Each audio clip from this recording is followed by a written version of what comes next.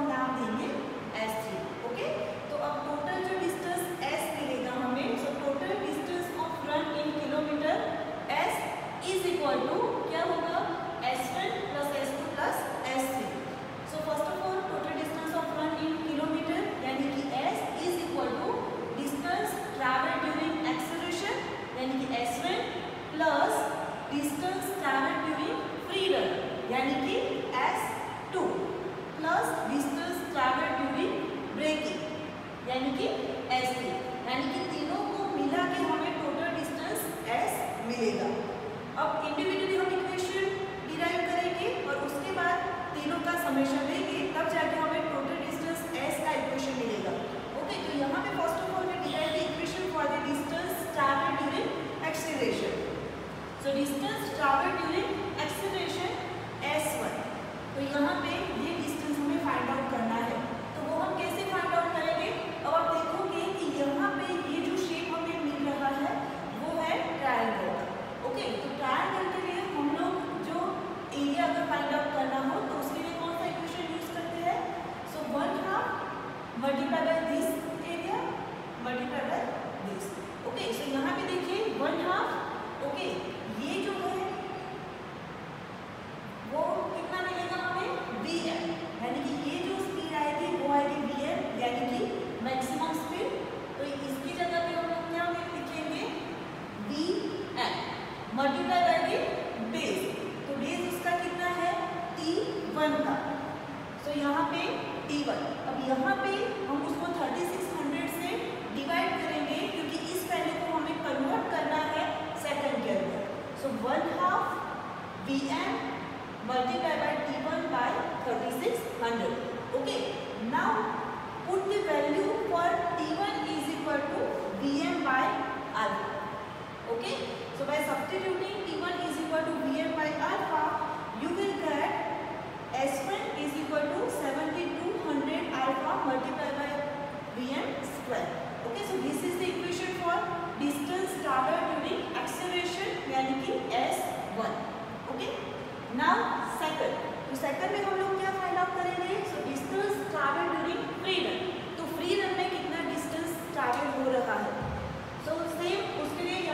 positive यहाँ पे जो शेप मिल रहा है वो आपको स्क्वायर मिल रहा है ओके तो उसके अंदर हम क्या करेंगे so multiplication of any two this will give you the area under the square okay so now here take this one value of this one is equal to vm base is equal to t2 तो यानी vm t2 by 3600 so it will give you the travel during free run. Okay. अब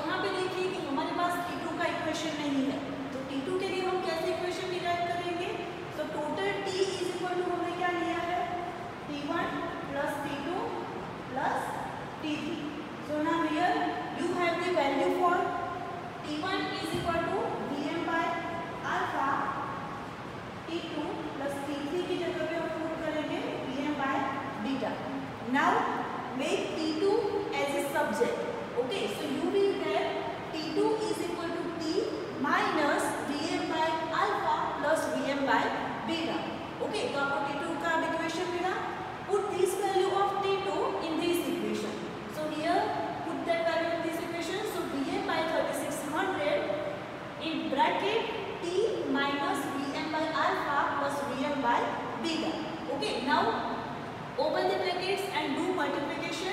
So VMT divided by 3600, VM square divided by 3600 alpha minus VM square 3600 beta. Okay, so this is the equation for distance traveled during free ride. Now third distance, yani distance traveled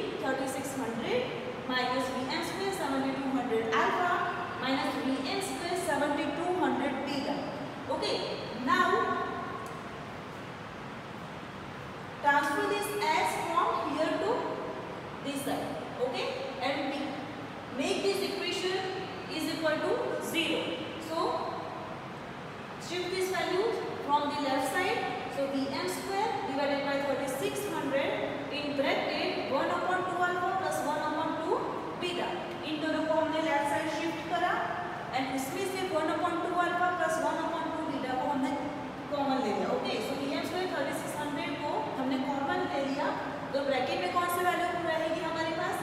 One by two alpha plus one by two beta minus B M D divided by thirty